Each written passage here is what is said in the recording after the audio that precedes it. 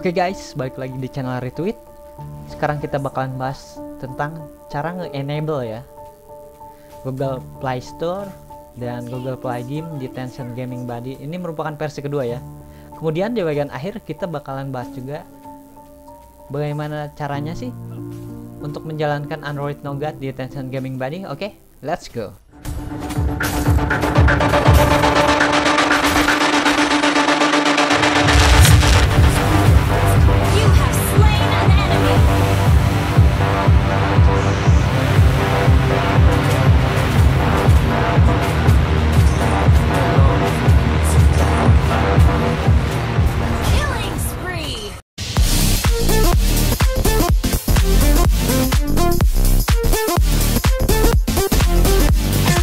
Oke, untuk langkah pertama, silakan kalian checklist more game ya.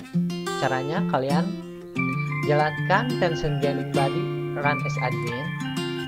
Kemudian masuk ke menu setting di atas ya. Nanti kita bakalan masuk.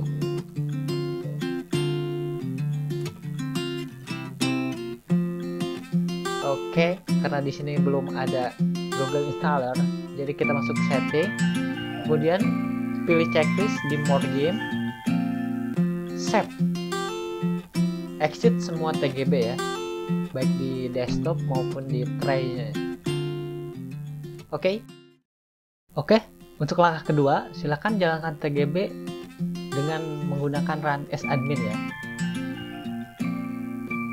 Kemudian kita geser ke kanan dan pilih Google Installer ya. Nah di sini. Kita tinggal install dan dengan otomatis sistem TGB bakal mengupgrade ya sama seperti tutorial nomor satu yang kemarin ya. Versi pertama itu. Oke installing berjalan. Kemudian kita install Google Play Games atau Google Play Service-nya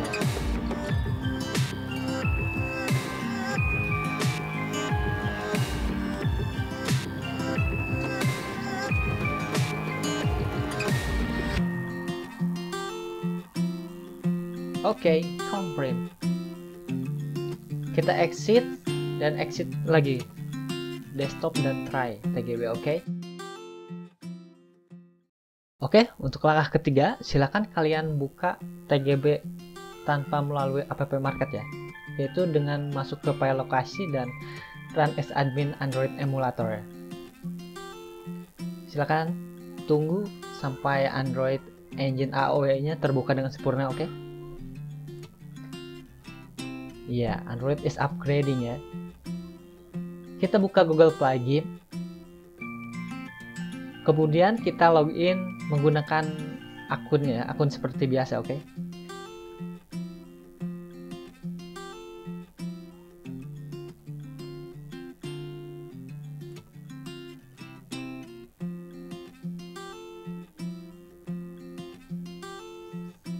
Oke, kita pilih existing. Dan kita unchecklist communication-nya ya.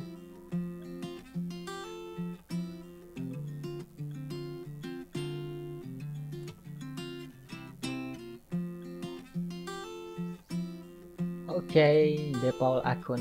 Sampai di sini Google Play Game dan Google Play Store berhasil diinstal ya. Sekarang kita bakalan tes dengan mengunjungi Play Store ya. Oke, di tutorial ini Play Store berjalan dengan baik ya. Kita coba nyari Cyber Hunter ya.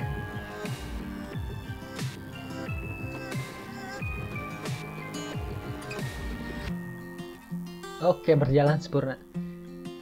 Next, kita bakal tes untuk installer Google Nougat ya. Android 7, oke. Oke, di langkah 4 kita bakalan install Clash of Royale dan eh, testing auto engine Nougatnya ya di TGB oke? Bisa kita lihat engine is downloading ya. Artinya eh, engine standar TGB mulai diperbarui ya untuk menjalankan Clash of Royale atau Clash of Clans bisa juga sih menggunakan IS Explorer itu hampir sama. Oke. Kita masuk ke installing Clash Royale-nya. Nah, di sini ada PT ya, PT enable. Jadi kalian misalnya belum di enable, kalian bisa lihat link di atas ya tutorialnya. Oke. CR udah terinstall sempurna.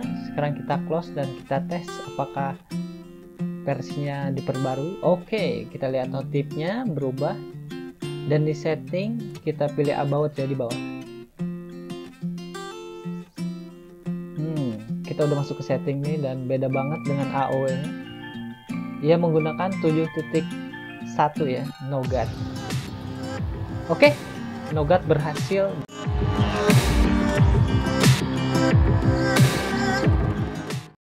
Oke, proses penginstalan Google Play Game dan Play Store di TGW berhasil ya. Nah, perbedaan antara AOW Engine dan Standard Engine ialah tentang sistem operasi. AOW e, eh, digunakan untuk game-game berat ya, di mana dia bakal lancar atau memaksimalkan reshot dari PC-nya. Sedangkan untuk engine standar kalau kita coba itu terbilang berat ya bisa kalian tes install Prepare contohnya oke okay? Jika ada pertanyaan atau ada sesuatu yang ingin ditulis silahkan tulis di bawah ya oke okay? sampai jumpa semuanya oke okay, bye bye